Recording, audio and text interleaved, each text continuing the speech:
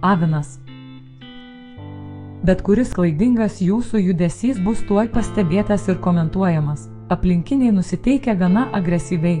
Pasistengkite likti kuo mažiau pastebimas. Tik namuose galėsite lengviau atsikvėpti. Jautis. Beveik visose srityse šiandien galite tikėtis draugų ar kolegų paramos. Puikia diena užsiimti kūrybinę veiklą, skirti svarbius susitikimus, pristatyti savo veiklą. Tiesa, laiko teks skirti ir smulkiems, gal netokiems įdomiems darbams, tačiau energijos stygiumi šiandien neturėtumėte skūstis. Dviniai.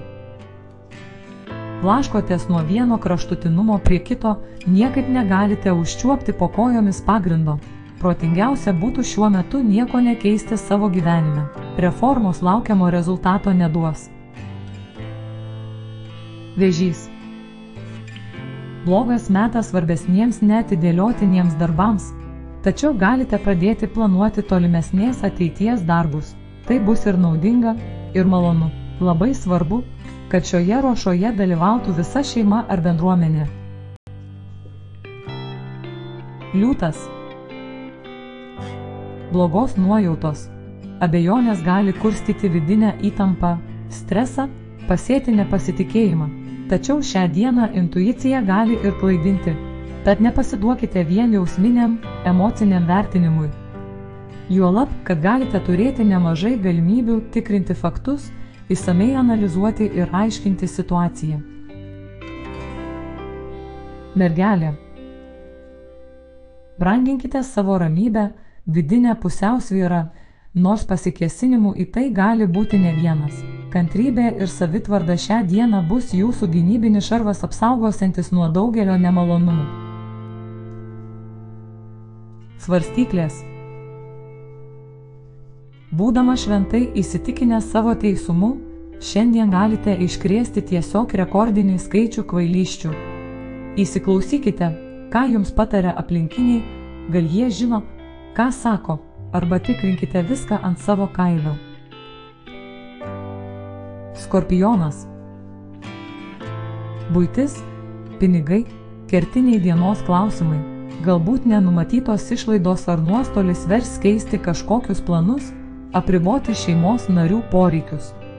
Būkite dėmesingi, nepamirškite interesų bei norų tų, kurie gyvena ir pluša šalia jūsų.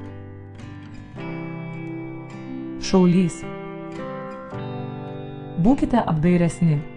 Jei jaučiate, kad santykiai su mylimu žmogumi vėsta, nepanikuokite. Dauguma jūsų konfliktų kyla dėl netolerancijos vienas kitam, pats metas jos pasimokyti. Ožeragis. Būkite apdairūs. Neapgalvotais veiksmais galite pakengti savo reputacijai, aplinkiniai žmonės gali suabejoti jūsų autoritetu. Kvailai nerizikuokite, nedalyvaukite dideliuose renginiuose, pasistengkite nekonfliktuoti, valdykite protą ir mintis. Vandenis.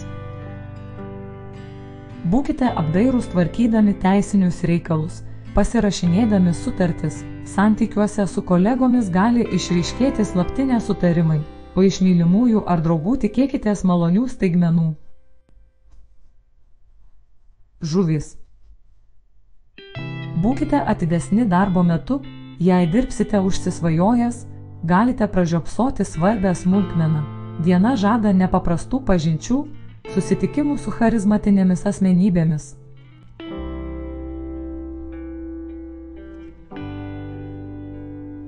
Jei patiko vaizdo įrašas, būtinai paspauskite patinka, rašykite komentarą arba užsiprenumeruokite kanalą Zuikio TV.